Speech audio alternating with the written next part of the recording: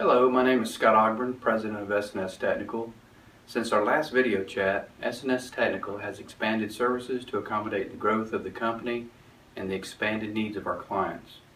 We have added additional operating space along with engineers, fabricators, and electricians that have the skills and knowledge necessary to take our clients from their initial concept through to system integration on site.